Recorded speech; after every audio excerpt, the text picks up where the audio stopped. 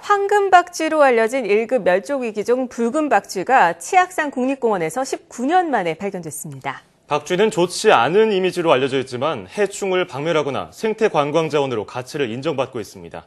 류재복 기자가 소개합니다. 바위에 거꾸로 매달린 채 잠들어 있는 붉은 박쥐입니다. 머리부터 발끝까지 온통 황금색으로 뒤덮여 있어 황금박쥐로 알려져 있습니다. 우리나라에 500여 마리밖에 살지 않는 멸종위기 야생생물 1급 동물입니다.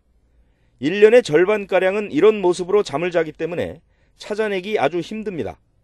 치악산 국립공원에서 황금박쥐가 발견된 건 지난 1996년 이후 19년 만입니다.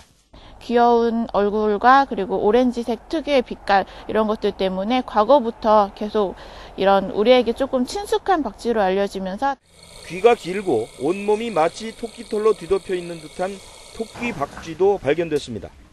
기온이 12도에서 15도가량 되고 습도가 90% 이상인 폐광산에서 겨울을 나고 있었습니다. 박쥐는 우리에게 흉측한 이미지로 낙인 찍혀 있지만 실제로 큰 도움을 주는 가치 있는 동물입니다. 이런 모기들을 한 하루에 한 천 마리에서 삼천 마리 정도 이제 섭식을 하는 걸로 되어 있거든요. 기존 문헌들에. 그러니까 이런 해충 박멸에 좀 약간 탁월한 능력을 가, 지고 있는 것 같습니다. 또한 배설물은 비료나 한약재로 쓰이고 생태 관광 자원으로도 유용합니다. 국립공원관리공단은 숲과 동굴 등에서 박쥐의 생태와 행동 패턴 등을 면밀히 조사할 계획입니다. YTN 유재복입니다.